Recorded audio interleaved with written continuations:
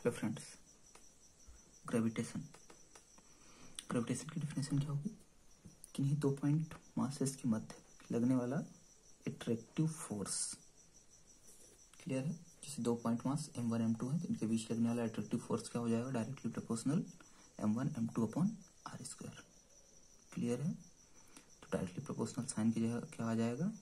जी ये क्या होता है? यूनिवर्सल ग्रेविटेशनल कांस्टेंट इसकी वैल्यू क्या होती है six point six seven into twenty four minus eleven newton metre square K G minus to. Clear है? जैसे मैं यहाँ लिखा हूँ एफ़ वन टू मतलब वन मतलब वन पर टू के द्वारा लगाया गया फोर्स क्लियर है? अगर कहीं भी ऐसा लिखा हो एफ़ वन टू तो वन पर टू के द्वारा लगाया गया फोर्स और एफ़ टू वन टू पर वन के द्वारा लगाया गया फोर्स ठीक? क्लियर? ग्रेविटेशन फोर्स की कुछ प्रॉपर्टीज़ हैं, जिसे हम देख लेते हैं यहाँ पर। ये बहुत इंपॉर्टेंट है क्योंकि इनसे डायरेक्टली क्वेश्चन उठ के आते हैं। तो ध्यान से देखिएगा ग्रेविटेशनल फोर्स हमेशा क्या होता है? अट्रैक्टिव नेचर का। हमेशा कैसा होगा? अट्रैक्टिव होगा।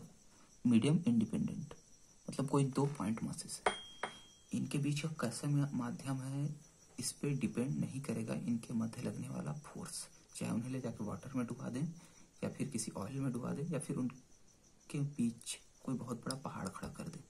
फिर भी उन दोनों के बीच लगने वाला अट्रैक्टिव फोर्स क्या होगा? बराबर रहेगा हमेशा।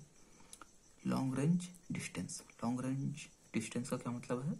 ये दो पॉइंट पास पास पास हैं तो भी फोर्स लगेगा और हज़ारों किलोमीटर दूर है। फिर भी इनको, इनके बीच क्या होगा? फोर्स लगेगा हमेशा।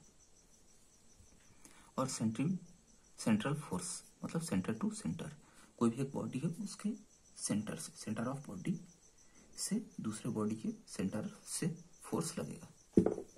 और force in principle of superposition अगर कोई दो बॉडी है, दो बॉडी में फोर्स लग रहा है तो उनका डायरेक्शन एक है तो वो दोनों आपस में क्या हो जाएँगे? जुड़ जाएँगे। इसका मतलब ये होता है। सुपरपोजिशन मतलब एक ही डायरेक्शन पे है तो जुड़ जाएँगे। वीक फोर्स ये ध्यान। ये बहुत इंपॉर्टेंट है। ये फोर्स क्या होता है? बहुत वीक होता है। क्लियर क्योंकि यहाँ पर देखिए कांस्टेंट में माइनस इलेवन लग जा रहा है ten to power minus eleven तो फोर्स कितना हो गया? बहुत कम फोर्स हो गया। कंजर्वेटिव फोर्स तो कंजर्वेटिव फोर्स का क्या मतलब होता है? दो प्रकार के फोर्सेस होते हैं कंजर्वेटिव और नॉन कंजर्वेटिव नॉन कंजर्वेटिव जो फोर्स होता है, उसके द्वारा किया गया सर्कुलर पाथ पे, किया गया वर्क ज़ीरो नहीं होता। और कंजर्वेटिव फोर्स के द्वारा एक सर्कुलर पाथ पे किया गया वर्क क्या होता है? ज़ीरो होता है। मतलब जैसे सेंटर पे एक बॉडी रखी हुई है, उसके अराउंड एक बॉडी घूम रही है, ठीक? तो अराउंड एक बॉडी घूम रही है, एक सर्कुलर पाथ बना रही है तो यहाँ पर ग्रेविटेशनल फोर्स द्वारा किया गया वर्क क्या होगा? ज़ीरो होगा। क्लियर इसे सेंटर पे एक बॉडी रखी है। ये सन हो गया जिस लाइक इसके अराउंड क्या घूम रही है? अर्थ घूम रही है। ये सन हो गया। इसके अराउंड क्या घूम रही है? अर्थ घूम रही है। तो ये सर्कुलर पाथ बना रही है। तो यहाँ पर क्या होगा? ग्रेविटेशनल फोर्स द्वारा किया गया वर्क क्या हो जाएगा? ज़ीरो हो जाएगा। क्लियर है?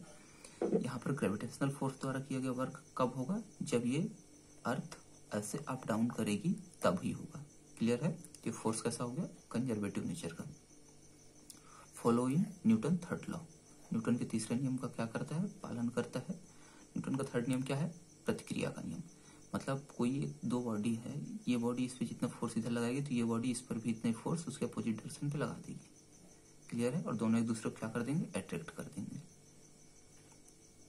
Applicable in only point mass ये बहुत इंपॉर्टेंट है। डायरेक्टली क्वेश्चन आते हैं।